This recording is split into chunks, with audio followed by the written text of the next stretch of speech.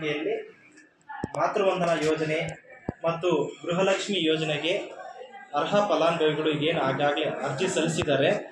ಅವ್ರಿಗೇನಾದರೂ bank ಖಾತೆಗೆ ಹಣ ಬಂದಿಲ್ಲ ಅಂದಾಗ ಅಥವಾ ಬಿಡುಗಡೆ ಆಗಿಲ್ಲ ಅಂತಂದರೆ ಅವರು ಒಂದು ಮುಖ್ಯವಾಗಿ ಮಾಡಬೇಕಾಗಿರೋ ಕೆಲಸ ಅವ್ರದ್ದು N P C I account ಲಿಂಕನ್ನು ಮಾಡಿಸ್ಬೇಕಾಗಿರುತ್ತೆ.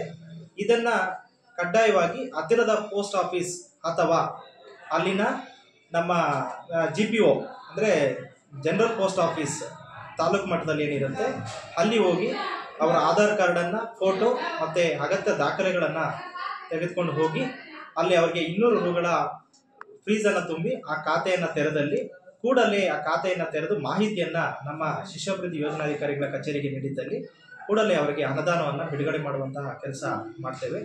ಇದರಲ್ಲಿ ಬೇರೆ ಯಾವುದೇ ರೀತಿಯ ಇ ಕೆ ವೈ ಸಿ ಆಗ್ಬೋದು ಅಥವಾ ಬೇರೆ ಸಮಸ್ಯೆ ಅಂತ ಹೇಳಿ ನಮ್ಮ ಏನು ಸೈಬರ್ ಸೆಂಟರ್ಗಳಿಗೆ ಹೋಗೋದಾಗ್ಲಿ ಅಥವಾ ಬೇರೆ ಮಧ್ಯವರ್ತಿಗಳು ಕೊಡೋದಾಗ್ಲಿ ಮಾಡೋದನ್ನ ಬಿಟ್ಟು ನೇರವಾಗಿ ಅವರು ಅಂಚೆ ಕಚೇರಿಗೆ ಹೋಗಿ ಮಾಹಿತಿಯನ್ನು ನೀಡಿ ಅವರ ಖಾತೆಯನ್ನು ತೆರೆದಲ್ಲಿ ಈ ಸೌಲಭ್ಯವನ್ನು ಪಡ್ಕೋಬಹುದು ಯಾವುದೇ ಇದನ್ನ ಬಿಟ್ಟು ಹೊರತಾಗಿ ಬೇರೆ ಯಾವುದೇ ಸಮಸ್ಯೆಗಳಿಂದ ಸಹ ಈ ಒಂದು ಸಮಸ್ಯೆ ಬರೋದಿಲ್ಲ.